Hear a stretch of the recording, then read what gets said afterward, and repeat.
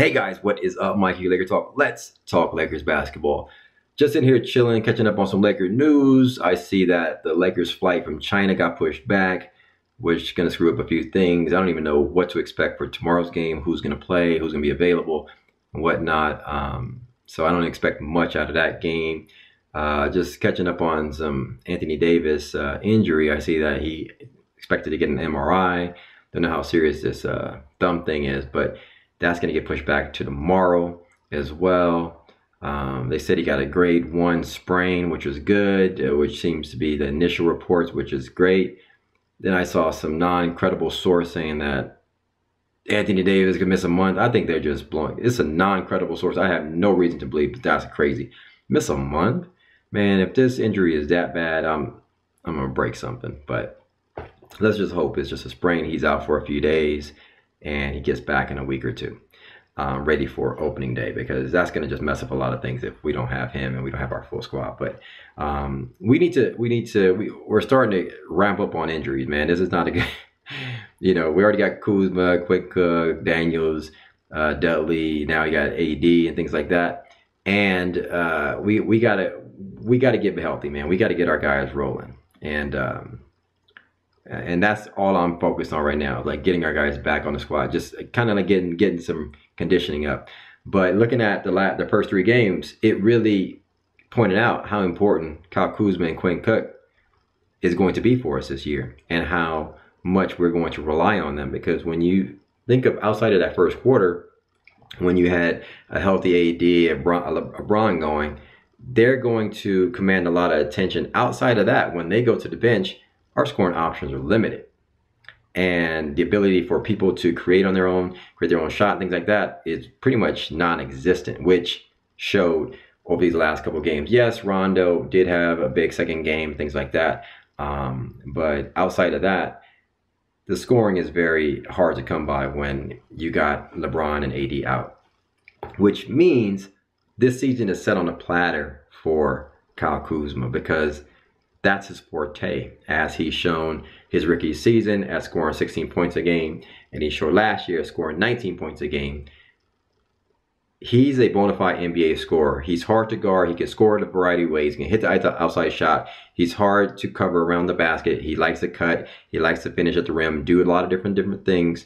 Um, very Cedric Ceballos, I call him like you know quirky style of, of scoring in a million different ways, and we need that and this season, in my opinion, is set on a platter for him to display that and really is set up for him perfectly to have a big year and secure his bag going into next season and beyond just to show how valuable of a player that he can be. And we really need that. Um, so i'm looking at these guys i'm like geez like kyle kuzma is really the common denominator he's the x factor for what how we're going to succeed this season outside of LeBron and AD being on the floor. We need those two guys on the floor. And then we need a healthy Kuzma. But in addition to that, Quinn Cook. Um, Quinn Cook is a guy who I think is prime ready as well to display a lot. And it's shown that we need additional uh, ball handlers and folks that can create their own shot. And, and Quinn Cook is that. He's been through the ranks if you think of like an MLB type player, he's been through the minor leagues. He's been been four years at Duke.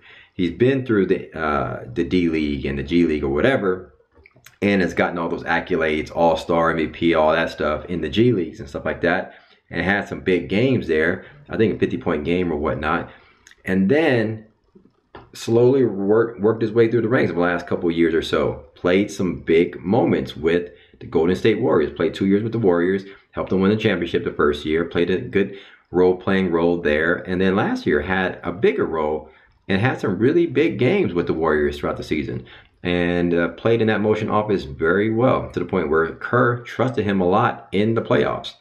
And it shows that he's very mature, plays at a high basketball IQ.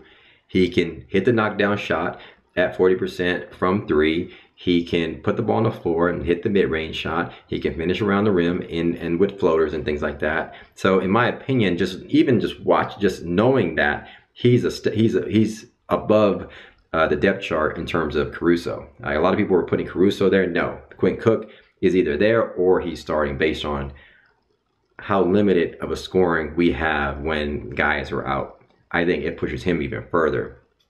And to the point makes him more valuable and go like, well, yo, we want to rely on you even more so.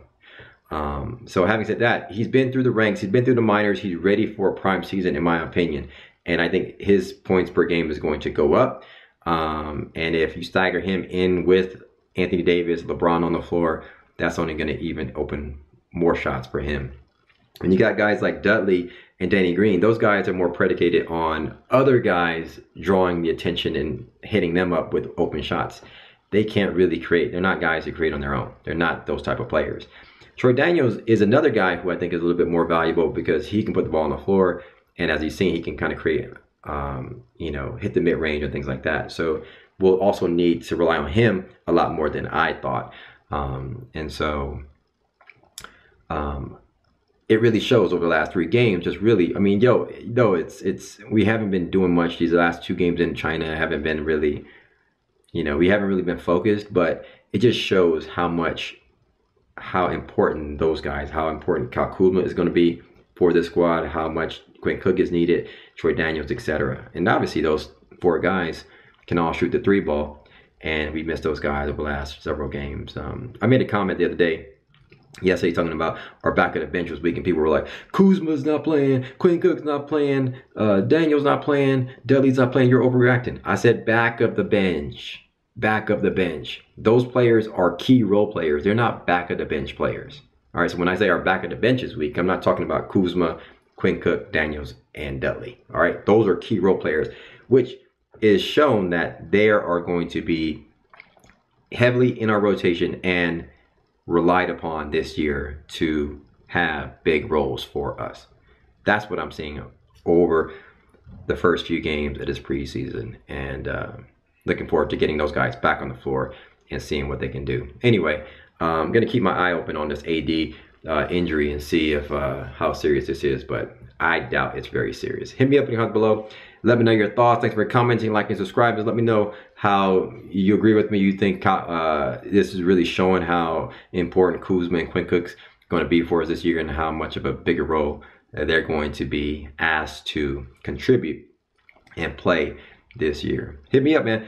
Uh, as always, follow me on Twitter um, at Mike Sports LA and Instagram at Mike Sports LA. And if you're not subscribed to my YouTube channel, subscribe. What are you waiting for? We'll talk soon, guys. Peace.